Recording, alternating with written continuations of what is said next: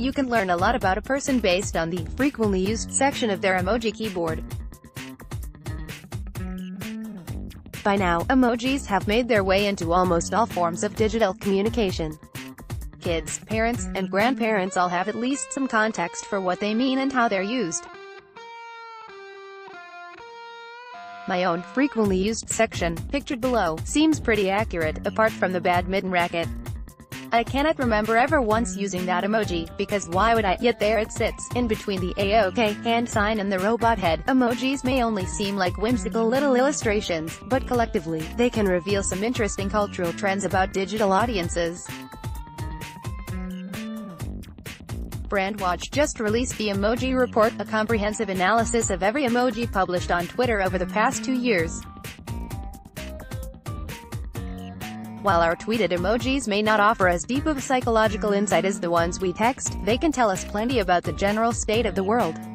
For example, according to the report, the use of negative emojis has increased 9.5% over the past two years, with a significant spike coming during the 2016 American election, when 28.9% of tweeted emojis were negative.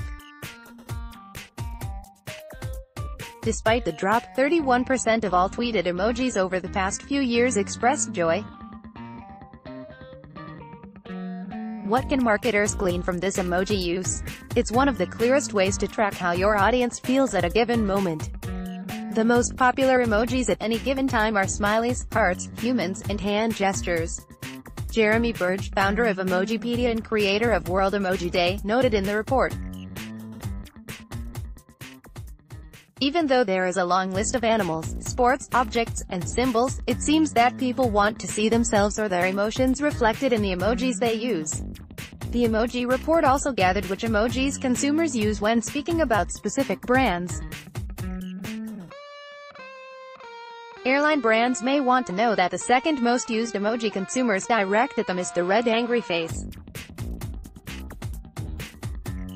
That's probably an indication your customer service could use some restructuring. Emojis could also offer brands a visual indication of how their products fare compared to the competition. Evaluating customer reviews takes a lot more time than glancing at a happy face, and consumers are leveraging their use of emojis to get the attention of companies.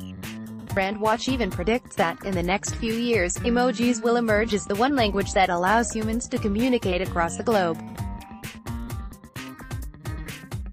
While emojis haven't entirely eradicated text, they are officially the internet's most popular language. 95% of the internet currently uses them. My astrology app even texts me my daily horoscope entirely in emojis. I can't say that I fully understand what it means yet, but I'm well on my way.